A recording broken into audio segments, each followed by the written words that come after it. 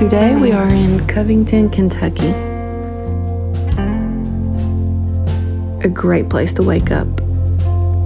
The details of this Airbnb are amazing. The perfect place to relax and have a little me time.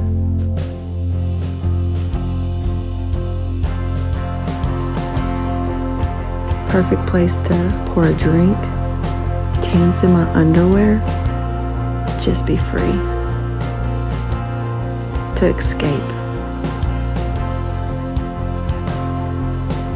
And a little shopping at my favorite boutique called the Native One. A perfect place to get clothes and plants, and really, what else would a girl want? Oh, the gruff. Ginslinger, white truffle pizza, the view. Really, it's a perfect day the perfect getaway. It'll be warm soon, and almost everything is in walking distance.